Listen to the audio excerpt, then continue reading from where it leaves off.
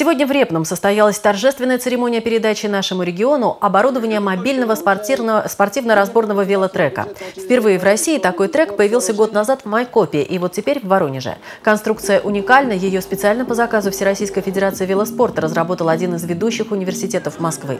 Спортивный объект возводится всего за месяц, для него не требуется фундамента, достаточно лишь ровной площадки площадью 100 квадратных метров. Длина полотна велотрека 200 метров, что позволяет проводить на нем тренировки, а также соревнования всероссийского и даже международного уровня.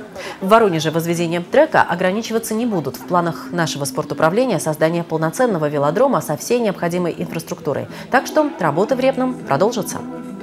Планируем в 2015 году вот уже этот объект полностью э, закончить и уже тогда э, сдать в эксплуатацию. Именно как велодром э, вот с велотреком и с самим э, значит, э, оборудованием для занятий велосипедным спортом. Вы знаете, после строительства велотрека олимпийского объекта в Крылатском более 35 лет страна не строила подобных сооружений. Но вот появилась техническая возможность э, решить проблему за один месяц. Поэтому мы обращаемся к регионам, готовым поддержать этот почин э, Адыгеи и Воронежа. Предлагайте, и мы вместе с вами способны решить эту проблему в кратчайшие сроки.